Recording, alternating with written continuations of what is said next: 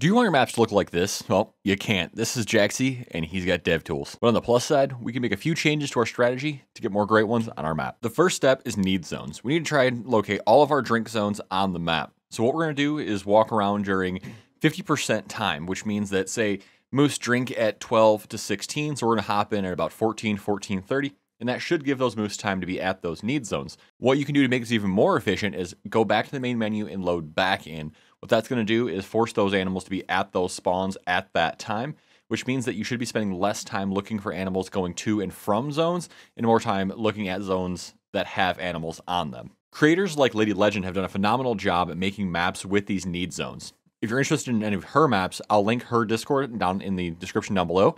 Otherwise, check out her live streams on YouTube and Twitch. She offers some phenomenal information there. But let's move on to step two. Once you have all of your drink zones figured out, then you can start looking at your shootable zones and your zones you're going to push off to the side. So these are two separate zone areas that we're going to try and focus on here. One zone class we're going to try to get all of our shooters, all of our dimes, all of our mythicals, all of our higher end animals, depending on what they are. Now, ideally, what starts happening here is we start seeing our level ones, level twos, if you're hunting predators, level threes in large groups around the map. Once these groups start getting established, you can then have a better idea of what zones you need to focus on. At that point, you can then move your tents and your stands away from those low level zones and move back towards higher level zones. Now, it's currently believed that when you do harvest an animal, say a, a level 5, that animal could come back as a level 4, 5, or 6. Anywhere inside of that, the score seems to be completely RNG, but this seems to be the way that it works repopulation table. I'm guessing the question you have now is what animal should be harvesting then? If, if that's the case, if I'm not supposed to be harvesting certain animals in certain zones, what should I be taking? Now, this really depends on your goal. There are a few different ways you can look at this. If you're trying to stack dimes and you're trying to do super rares, then you're going to approach it a little bit differently than we'd approach it for a Great One grind. The new Great One Moose is the topic of discussion right now for most content creators, so let's have that talk. So when it comes to Moose, we are looking at a few different statistical things here. And we're also going to take a little bit of a look at game theory to see how this all should possibly work, and I think I'm pretty far onto something here. There have been a few passing comments by people pretty close to EW,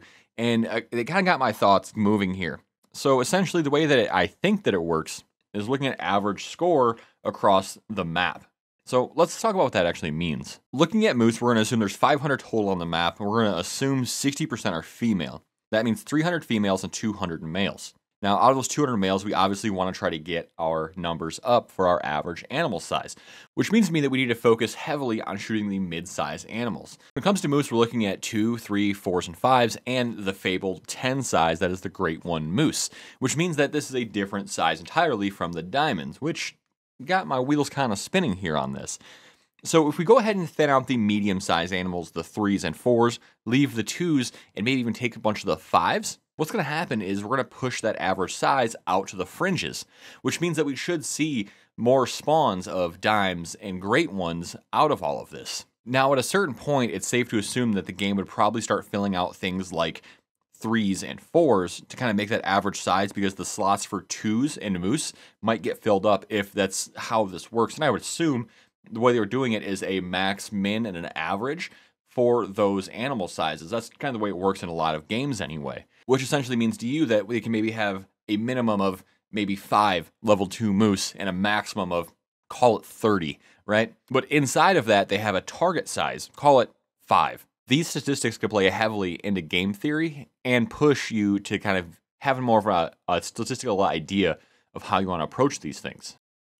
But what all this means for you is what you need to do if you're harvesting moose is you're going to shoot the threes, fours, and if you're trying to stack dimes, leave the fives.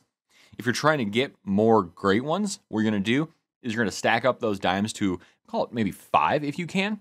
Go ahead and make your batch shots and pick them all up at the same time. Now, ideally, what that's going to do is that's going to manipulate the table into trying to average things out all at one time instead of doing a small average increment here and there. Now, this is because I believe the spawns work in the way of restarts, right? So if you go back to the main menu, come back, your spawns restart, and you'll end up with way more respawns than you would if you just stayed in the game for, I don't know, four hours. So what should start happening is when you try to average those numbers out across the board, they're going to push towards the higher end and leave hopefully the space in the middle and keep the outside fringes, the fives and the tens and the twos being fully populated because that is our goal is to bring our average size up while also bringing our trophy herd quality up with it.